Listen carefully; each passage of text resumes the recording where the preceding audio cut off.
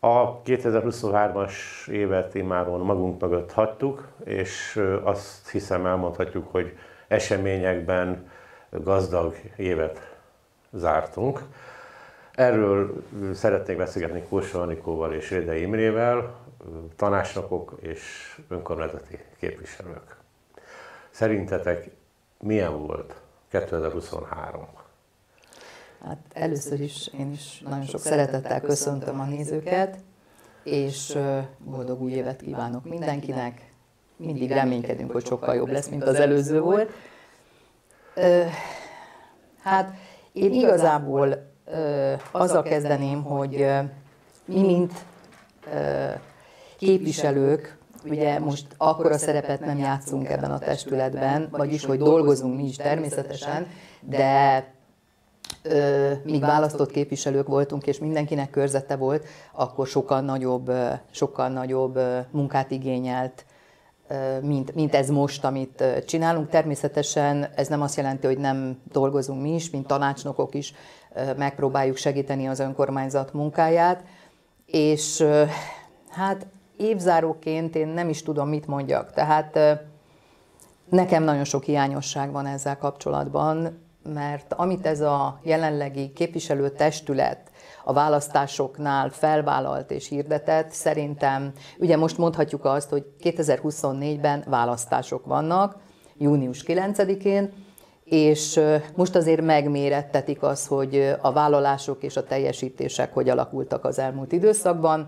Én úgy gondolom, hogy, hogy azért ennek a testületnek nem sikerült azokat a vállalásokat teljes mértékben, vagy hát kisebb mértékben tudták teljesíteni, mint amit vállaltak.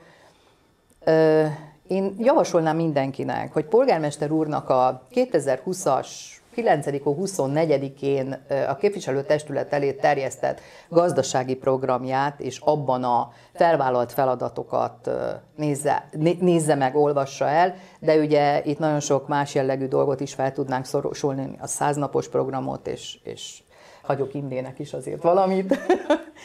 és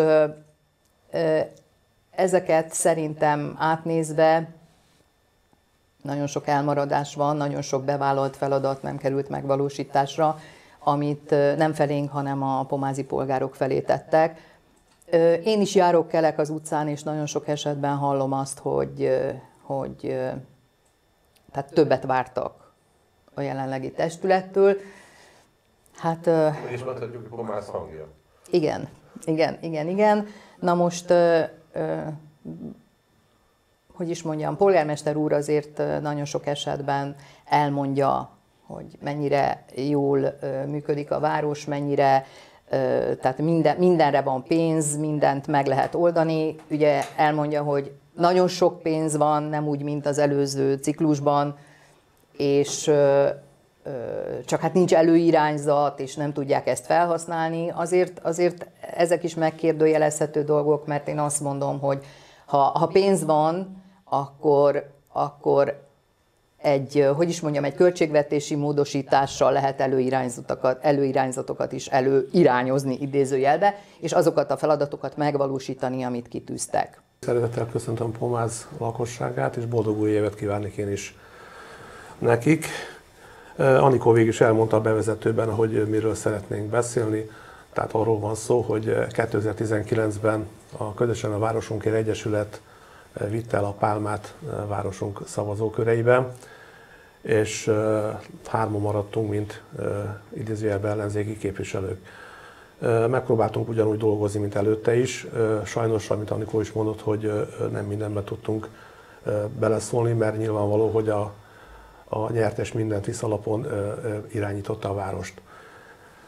Előbb elhangzott a száznapos program is, és most itt elhoztam magammal, és egész délután ezt olvasgattam, hát majd szintén én is a lakosságnak fölhívnám a figyelmét arra, hogy visszamenőleg ezeket meg lehet találni, hogy próbálja meg elolvasni.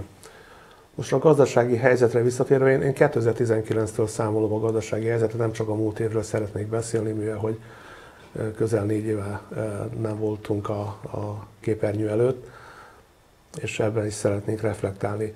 Nagyon sok minden benne volt a száznapos programban, illetve a gazdasági programban is, amit Anikó jelzett, és ezekről szeretnénk egy pár támpontokat adni a, a lakosoknak, hogy azért miről is van szó.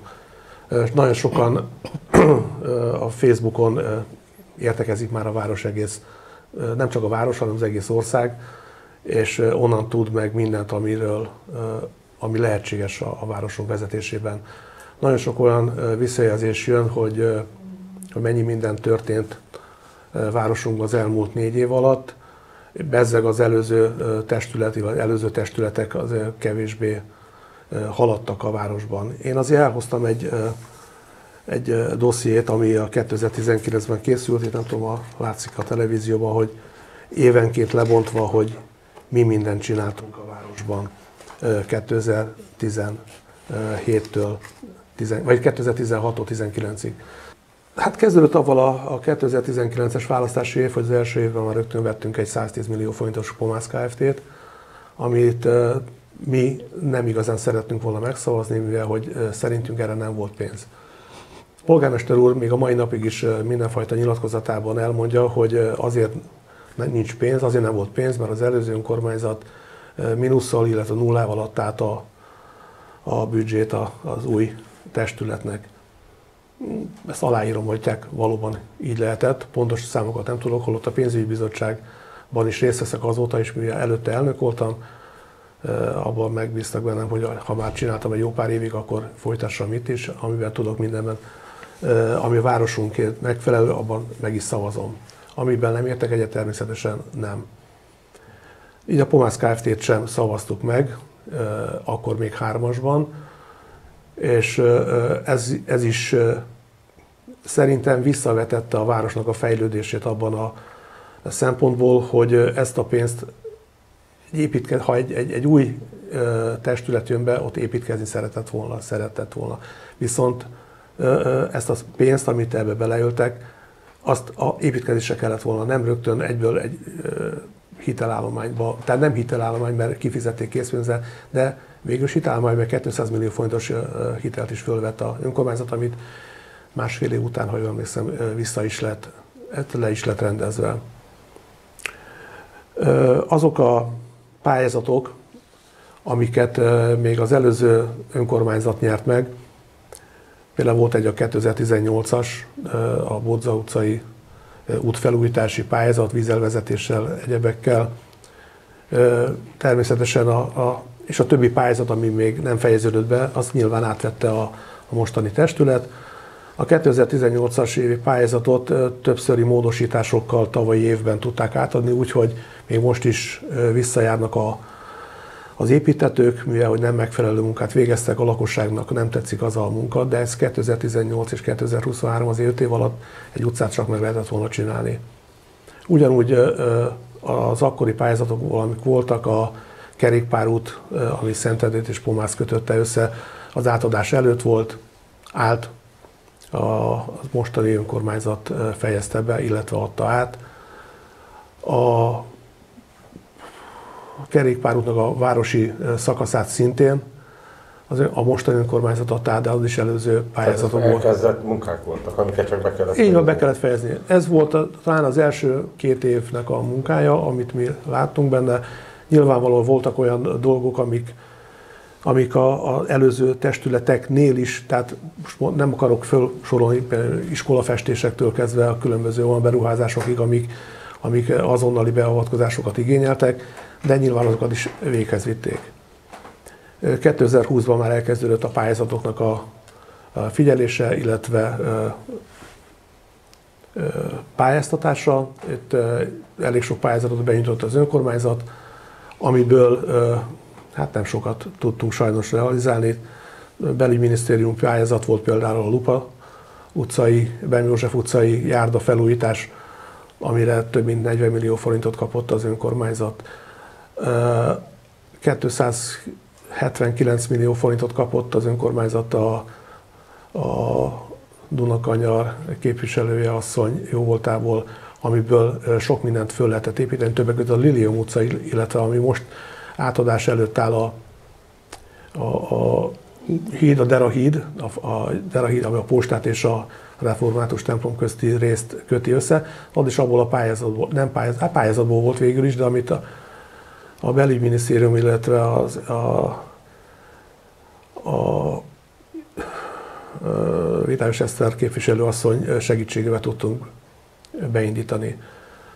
Volt egy ját, játszótér felújítása a Szelistjén, amit a Szerencséjáték ZRT segítségével. Tehát meg, pályázat volt? Pályázat volt, de, de ezt a Szerencséjáték ZRT kereste meg a képviselőasszonyt, hogy mondjon olyan területet, ahol lehetne ilyet csinálni, és ő javasolta Pomáznak a, ezt a részét ami, ami, ami meg is valósult, hála jó Istennek, úgyhogy most a gyerekek is tudják használni. Imre kitért a KFT-re, ugye azért két KFT is van a városban jelen pillanatban, amit az önkormányzat 100%-os tulajdonosként működtet. Ugye nem akarok itt kiemelni különösebben semmit, szerintem a nézők nagyon jól tudják, hogy miről beszélek. Az egyik KFT-nk az nagyon érdekesen működik a mai napig, tehát csak és kizárólag, hogy is mondjam, az önkormányzat által nagyon komoly finanszírozási tételek vannak, amiket bele kell rakni egyik-másik KFT-ben is. Annak idején, ugye, amikor a Kastély Kft. működött, akkor ugye természetesen az előző önkormányzatnak is hozzá kellett járulni nagyon keményen a működtetéséhez, és akkor mi nagyon sokat kaptunk emiatt, hogy, hogy ez egy pénznyelő automata, és és ugye folyamatosan próbáljuk segíteni a fennmaradását, mert azért ez egy nagyon értékes a város számára ez a kastély, ugye a benne lévő programokkal és minden más egyébbel. Na most ugye nem úgy funkcionálta, hogy kellett volna, azt is tudjuk, hogy nagyon sok mindenben nem lehetett az első időszakban előre menni az önkormányzat segítsége nélkül. Olyan elvárásokat támasztottak azért, ami teljesíthetetlen volt, és ezt szerintem nekik is tudniuk kellett. Nem volt azon a fokon az önkor, vagy a, a kastély, hogy mindent meg tudjon teremteni, főleg a felszereltsége miatt. És most úgy látjuk, hogy egy kicsit azért kezd realizálódni a helyzet, de még most is nagyon komoly támogatásokat igényel, mert azért vannak olyan fellépő problémák, amiket meg kell oldani, ha van bevétel, ha nincs bevétel mindenképpen, hogy a kastély állagát is és a, a, a lehetőségeket is fejleszteni tudjuk.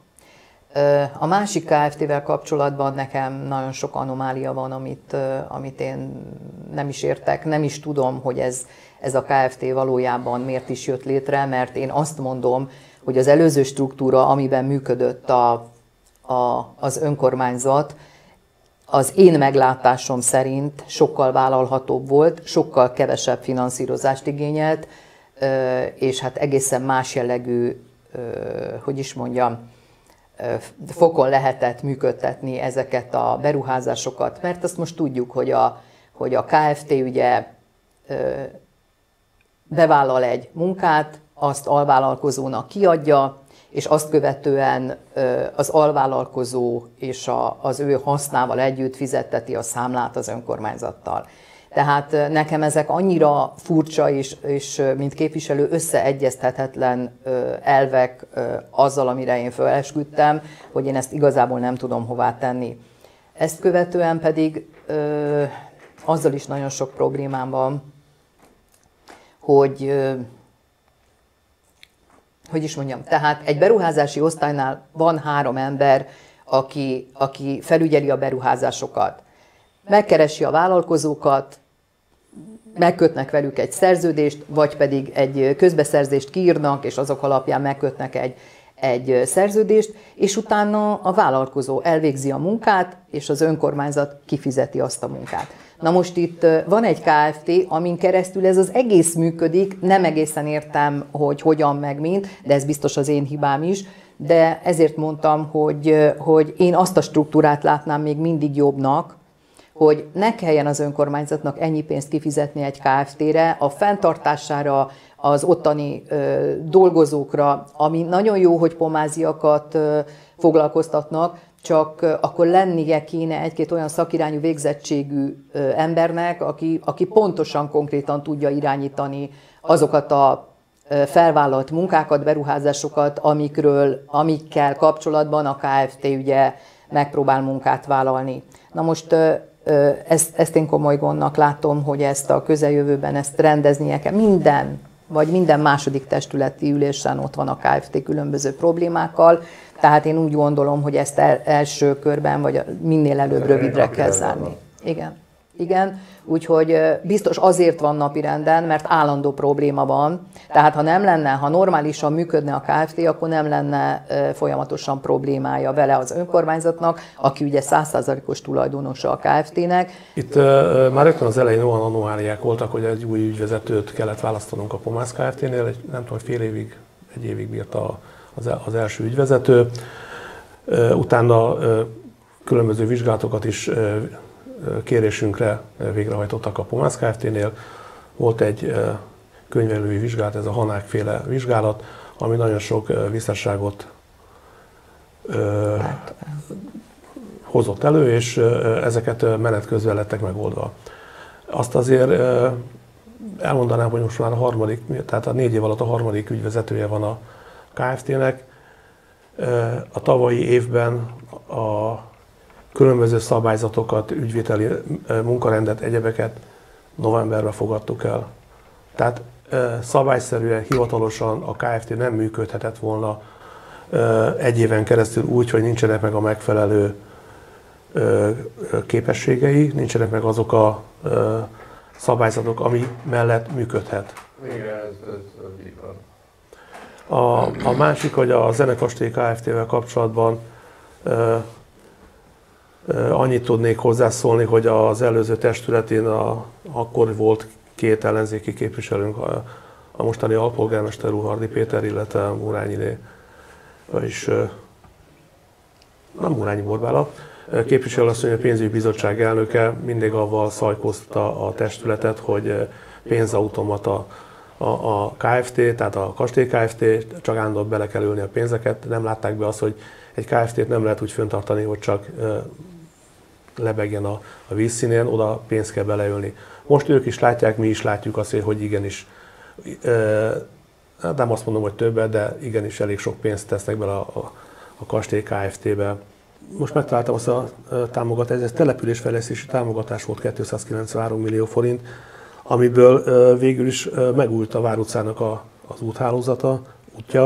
A Derapatak gyaloghíd az most lesz átvileg március környékén átadva a választások előtt a Lilium utca az most készült el. Vagy nem. Végigmentem rajta, most azért megnéztem én is, hogy mi, még egy érdekes, hogy föl kell mennem ahhoz a hegyhez, hegyre, hogy a, a Boglárka utca és a Lilium utca sarkán levő házhoz be tudjak állni. Tehát egyirányosították az egészet földről lefelé, ami az ő dolguk, végül is ők találták ki. Kicsit nehezíti azért az élet. Kicsit nagyon, a lakók azért szólnak azért, hogy 50 méter miatt kell kilométert menniük az, hogy haza tudjanak menni, ami szerintem egy behajtani tilos, egy részletező táblával meg lehetne oldani. Voltak munkaképek, beszerzések, ezek valóban ezekből lettek megállapítva. Csapadékvíz elvezetés beruházások voltak, ami arról szólt, hogy 10 darab faültetés, klímabarát konferencia megvalósítása, IBC tartályok beszerzése, esőkert tervezés, ismeretes cikkeknek a, a megjelentetése, rajzpályzatok, tanúsvénytáblák kihelyezése. Én csak most ezeket azért olvastam föl, hogy mik történtek az elmúlt négy évben. Biztos, hogy volt, amit ki is hagytam most.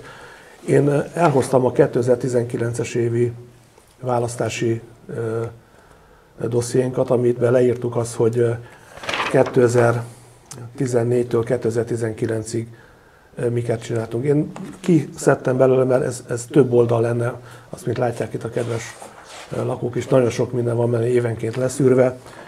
Azért elmondanám, hogy 2014-ben például a Vörös Marti Gyöngyvirág Tulipán Cikó József utcának a vízelvezetését megoldottuk, a Töltön Hugo utcai járda felgépítése megvolt. 2016-17-ben Mártírok útjának a járdaépítése, a futópálya felépítése, 400 millió forintos pályázati pénzből óvodát építettünk, ami az utóbbi évtizedekben nem igazán volt rá lehetősége a városnak.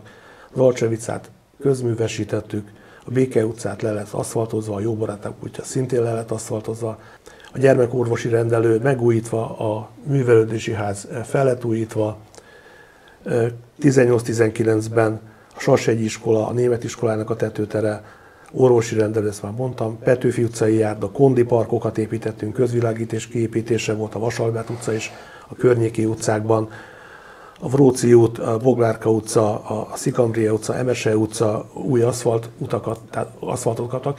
Tehát azok a, a derapataknak a felújítása közel 300 millió forintos beruházás volt, és most nem akarom összevetni az előző tényekkel, amiket elmondtam, de azért a lakosság is megérthetné, mondom, ezt keressék meg, a elmúlt években volt, tehát négy évvel ezelőtt volt bedobva a postaládájukba, tehát ezt elolvasnák, hogy mik történtek az el, akkori elmúlt öt évben, és összehasonlítanák az elmúlt négy évet. Ez nagyon meggyőző lista volt. Hát ezek azok, és mondom, azokat nem is mondjuk el, amikor amik mondom, standard feladatok.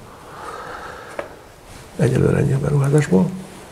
Én ezzel kapcsolatban azért azt szeretném elmondani, tehát azt is tudni kell, hogy, hogy a mostani beruházások azok ugye állami finanszírozásból történtek. És visszatérnék arra, hogy, hogy ugye polgármester úr mondja, hogy pénz az van, de, de ez nem valós, tehát nem látszik különböző beruházásoknál. Azt is tudnunk kell, hogy azért az adók rendezése, idézőjelben rendezése, aki, tehát mindenki ezt úgy éli meg, hogy adót emeltek, mert az, hogy most azt mondják, hogy csak rendezték az adókat, és, és elvették azokat a kedvezményeket, amiket ugye annak idején mi meghagytunk, folyamatosan az elején azzal, az, azzal találkoztunk, hogy hogy pomázomon a legkisebb adóbefizetés, pomázon így, és hát ugye akárhogy nézzük, a pomázi emberek sokkal többet adóznak, mint az előző időszakban. Tehát ez a pluszbevétel, ami most már az önkormányzat részére ott van, ebből lehet felmutatni pénzeket, csak hát ugye most már fél év van arra, hogy ezeket a pénzeket valamilyen szinten beruházásra használják, hogy most mondhatom azt, hogy ugye valamennyire a kampányra már megnyomja, vagy megnyomhatnák uh, idézőben a nézettségüket. Tehát én úgy gondolom, hogy, hogy az rettentően kevés, hogy, hogy elmondjuk, hogy pénzünk van, de nem csinálunk semmit. Tehát a kérdés az, hogy miért? Mert nagyon sok, nagyon sok területen, területet meg kellene finanszírozni, ahhoz, hogy jól vagy jobban működjön. Nem beszélek a tévéről, hogy ugye időtlen idők óta ö, ugyanabból a pénzből kell kihúzniuk, pedig közben egy óriási infláció volt, közben ugye ö, sorolhatnék itt ezer dolgot, csak most éppen, hogy itt a tévé képernyője előtt ülünk, hát ezért úgy gondolom, hogy ez, meg, ez említésre méltó dolog. úgyhogy úgyhogy én, én ezeket ezeket mondanám el. Nagyon sok minden lenne, megmondom őszintén, csak mélységében az ember nem, nem megy bele egy ilyen interjúnál, mert, mert kevés az idő, tehát boncolgathatnánk. Meg azt is mondhatják a nézők természetesen, mert ők választottak az előző ciklusban, tehát 19-ben választottak, ők nem úgy ítélték meg a mi munkánkat, hogy ez nekik megfelelt. Ez a rengeteg, amit az Imre is most felsorolt, de tudnánk mondom felsorolni nagyon sok mindent, beruházás és fejlesztés, ha úgy gondolta a város, hogy, hogy ők nem így szeretnének tovább menni, hanem lehetőséget adnak egy másik csapatnak is, akkor most össze lehet vetni, össze lehet hasonlítani a két ténykedést. Én azt mondom, hogy, hogy ennek a csapatnak is vannak jó kezdeményezései, vannak, amit nem, nem kell letagadni, tehát a kultúra területén is vannak olyan szegmensek, ahol azért nagy előrelépés volt, de, de én azt látom, hogy, hogy sokkal többet vállaltak, és annak megfelelően sokkal kevesebbet teljesítettek, vagy tudtak teljesíteni. És én úgy látom, hogy, hogy a képviselők között is van egyfajta feszültség, tehát akik egy kicsit másként gondolkodtak az elején, aztán időközben rá kellett jönni, hogy, hogy, hogy nem minden úgy működik, ahogy, ahogy ők ezt elképzelik, hanem tehát lehet az elején itt nekiindulni tervekkel, vágyakkal és minden más egyébben, ez így jó, mert, mert az ember csak itt tud lelkesen nekiállni egy dolognak. Csak aztán, amikor szembesül a lehetőségekkel, szembesül egy költségvetéssel, egy, egy törvényi előírással, vagy, vagy jogszabályi, vagy, vagy bármi ilyesmi, vagy itteni határozattal, amit mondjuk meg lehet változtatni, de a törvényeket nem, és, és látja, hogy milyen egy, egy, egy, mondjuk egy beruházás, vagy egy bármilyen kivitelezés időintervalluma, akkor rá kell jönnie, hogy ez nem megy csak így, hogy, hogy csettintünk egyet, és most mi ezt bevállaltuk, és három hónap múlva megcsináljuk. Az a baj, hogy hogy, hogy ezzel, ezzel nagyon sokan úgy vannak, hogy mert miért nem csinálják meg, miért nem csinálják. Én erre most így adok választ, tehát tervezni kell, és nem, nem egy évre, két évre, mert ezek a dolgok nem ennyi idő alatt zajlanak le. Sokkal ö, hosszabb idő kell ahhoz, hogy bárki bármit meg tudjon valósítani a, a városban, és reális ö, célokat kell meg, ö, meghatározni. Nekem ez a, tehát e, erre most azért tértem vissza, hogy itt tényleg a, a gazdasági program, a száznapos program, az ilyen vállalás, az olyan vállalás, ha egy kicsit valaki ö, pomázon benne van a közéletben, vagy ha nincs is benne, tehát ö, ez a dugóhúzó dolog is. Nem, ö, nem a jelenlegi vagy a volt vezetőségem múlik, mert ugye olyan vállalásokat tettek, ami, ami ha egy kicsit reálisan gondolkodik az ember, megvalósíthatatlan.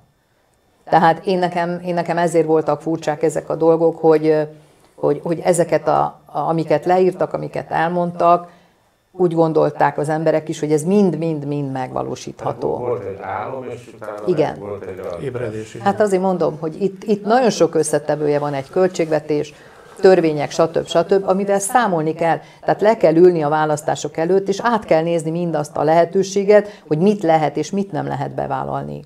Tehát ez, ez, a, ez a közeljövőre is így működik. A képviselőtestület megválasztott tagjai, az a nyolc fő is, hogy valamilyen szinten már nem együtt dolgoznak. Tehát azt veszük észre, hogy ö, több képviselő ö, nem azt mondja, hogy nem szavaz a polgármester úr mellett, de néha kimondottan ellene is mennek. Nem személyeskedek most, de, de aki tudja, azt tudja, kiről van szó. A másik pedig azért... Bőven egy, elég, hogyha végignéznek egy online közvetítést. Így van, tehát ez, ez bőven elég.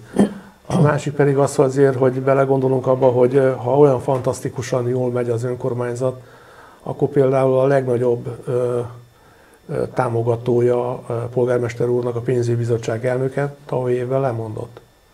Több hónapig pénzügyi bizottság elnök nélkül dolgoztunk.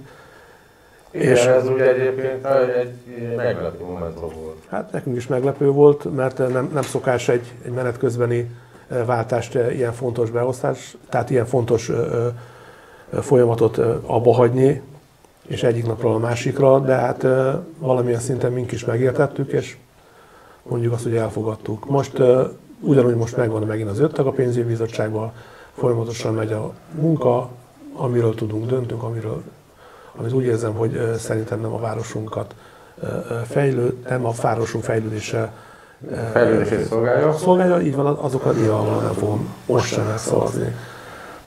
És én azt mondom, tehát a tavalyi évvel kapcsolatban annyit konklúziót tudnák levonni az egészből, hogy ez, ez egybe is lehetne számolni, ezt, hogy az elején kezdtük a négy évet, mert egyértelműen egy nagyon nagy ígérgetés volt, nagyon nagy pályázati dolgok voltak. Hát nem gondolhatták volna komolyan, hogy a több milliárdos beruházást egy, egy 20 ezer fős város meg tud oldani, úgyhogy állami támogatás nélkül. Hát hiszen ugye, ahogy említetted, valóban most az elmúlt évre vonatkozott a kérdés, de idén választások lesznek, tehát valamilyen fajta összegzés úgyis mindenképpen lesz. Igen, hát reméljük, hogy majd az március-április felé majd lesz egy ilyen összegzés, majd amikor a, a, a választások előtt, és akkor mindenki elmondhatja a véleményét, és a választásokon meg a lakosság el fogja tudni mondani a véleményét az elmúlt négy-öt évről. Hát végül is polgármester úr ezt elmondta, hogy sokkal intenzív és nagyobb mértékben kell a, a lakosság és az önkormányzat közötti párbeszédet kialakítani, és sokkal több közmeghallgatás kell, és sokkal több ez meg az meg amaz, amit én úgy látok, hogy ebben sem tudtunk előrelépni, tehát több nincs belőle, sőt azért nagyon sokszor halljuk a pomázi polgároktól, hogy, hogy nem állnak velük még szóba se jó formán, tehát vannak itt azért ebben is komoly problémák. Igen, igen, igen, igen, hogy nem válaszolnak e-mailekre, nem történik semmi az ügyükben több hónapja, próbálkoznak, és hogy segítsünk. Tehát most az elmúlt időszakban megmondom őszintén, hogy sokkal többen megkeresnek engem is, mint a ciklus elején, tehát főleg az elégedetlen emberek, hogy hát segítsünk már, meg, meg lépjünk, meg próbáljunk valamit. És, és hát az a helyzet, hogy jelen pillanatban nekünk is azért meg van kötve a kezünk, mert, mert nem tudunk hatékonyan dolgokban előre menni, de hát bízunk benne, hogy a, hogy a jövőre, vagy a jövő, jövőben már nem így lesz. Igen, erre a közmeghallgatás egy érdekes, hogy hogy felvetetted, most eszembe jutott, hogy az előzőekben mindig az volt a gond, hogy a közmeghallgatást mindig úgy tartottuk, hogy fél háromkor kezdtünk, és este 9-10-ig is volt, amikor ottják, addig tartott, mert annyi hozzászóló A köztől függött. Így van, de hát a köztől igen, tehát akit érdekelt. Most a legutóbbi közmeghallgatás, ami november végén, december elején volt, most pontosan nem tudom már, az önkormányzati dolgozók és a képviselők többen voltak, mint a, a köz. Tehát én megszámoltam az embereket, tehát mi voltunk 20 valamennyien, és ők 20 alatt. Ti fő volt kíváncsi polgármester úrnak a beszámolójára. Mondjuk az is egy érdekes volt a közmeghallgatáson, hogy idáig mindig arról szólt az egész, hogy kiosztottunk egy anyagot, mindenki elolvasatta, és hogy miről fog szólni. Most akkor kaptuk tényként, hogy a kivetítőn, hogy ez is ez, ez történt meg, Többször kértük már, szeretnénk megnézni az anyagot, még most sem kaptuk meg. Az a baj, hogy mi sem kaptunk róla anyagot. Tehát a közmeghallgatás anyagát mi sem kaptuk meg a mai napig. Tehát úgy nem lehet felkészülni vagy hozzászólni bármihez, hogyha az anyagot sem látod, hogy miről lesz szó. Természetesen ott a közmeghallgatáson ki volt vetítve, na most ha tudtál jegyzetelni, akkor, akkor képviselőként lejegyzetelheted. Sajnos más jellegű információnk nekünk se volt róla és mondom, hogy fél háromkor kezdődött, most hat órakor kezdődött, és már kilenc órakor otthon voltam, bőven. Rövidített. Mondom, azok a ö, ö, csúnya szóval mondom, notórius hozzászólók azok ott voltak, illetve azok, akiknek most volt egy pront dolguk az építkezések miatt, tehát azok voltak hozzászólók, de előzőkben mondom, ott, ott 50-100 fő mindig megjelent a közmeghallgatásról. Most sajnos úgy játszik, hogy majd... Családi rendezvény volt. Mm, igen, önkormányzati rendezvény volt, igen. Az a baj, hogy nagyon korlátozott az idő már júniusig, tehát én úgy gondolom, hogy innentől kezdve azért mindenki majd a, a kampányjal fog foglalkozni, a kampányban elmondható dolgokkal, és hát én azt tudom mondani, hogy, hogy amit az Imre, hogy reméljük, hogy azért még többet találkozunk az elkövetkezendő időszakban, és és hát én nagyon kapacitálok mindenkit, hogy a következő választásra mindenképpen el kell menni, és el kell mondani a véleményt. Ha, ha számunkra, ha rossz, ha jó, de akkor is el kell mondani a véleményt.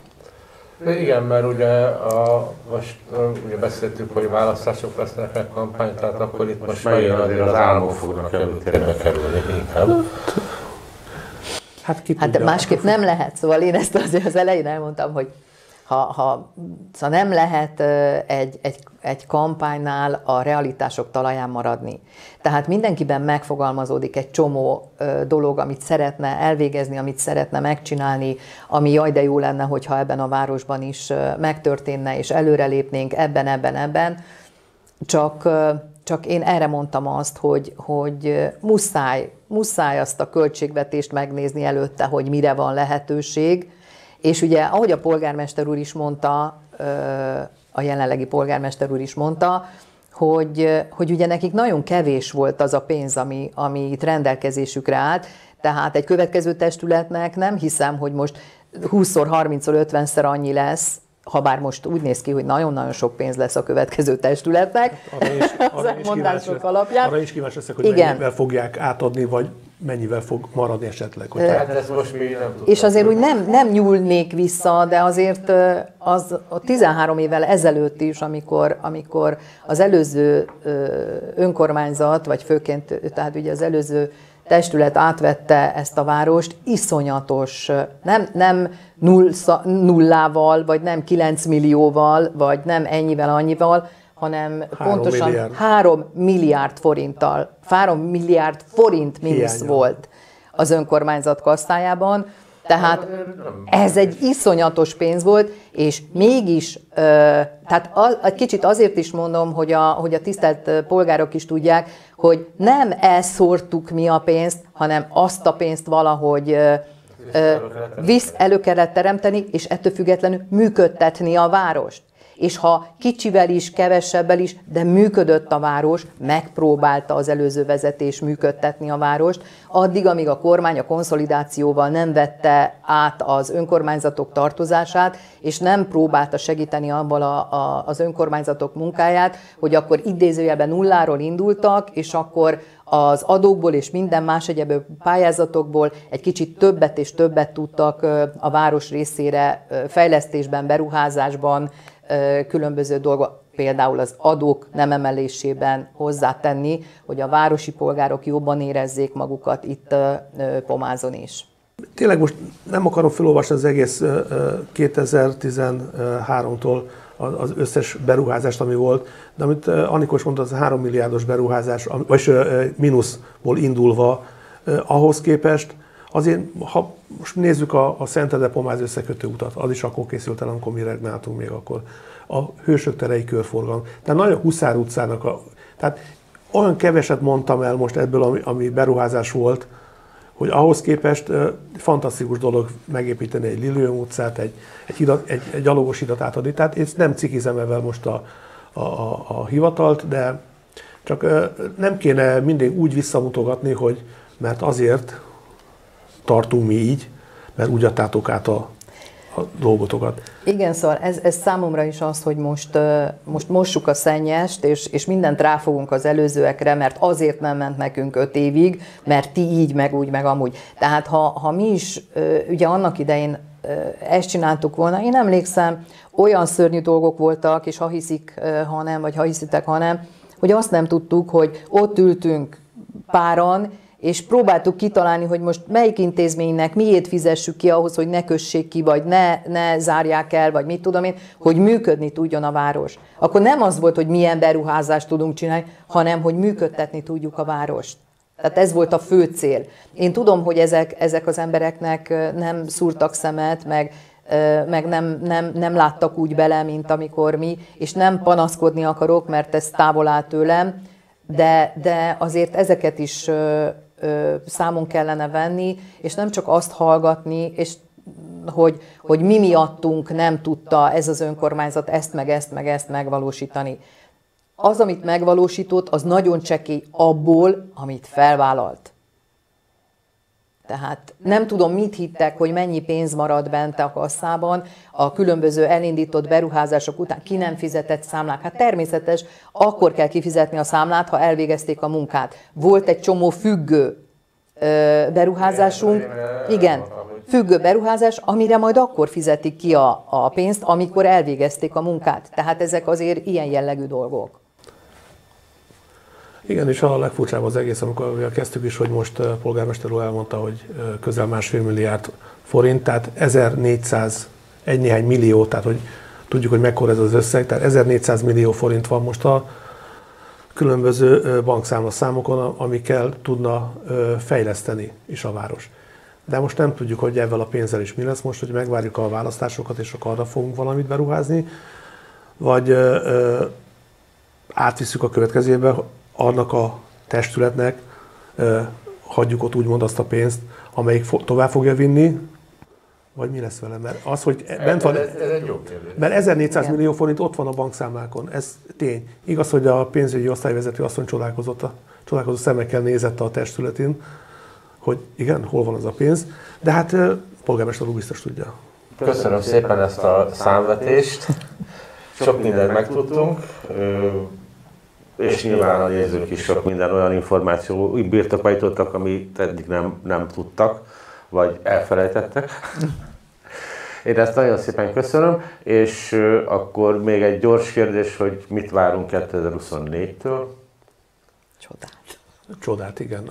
Mondom, én azt szeretném, hogy ö, 2024 ö, júniusában a lakosság, a polgárok döntsék el, hogy mit szeretnének. Szeretnének ezen az úton tovább menni, ami volt az előző években, vagy újat szeretnének?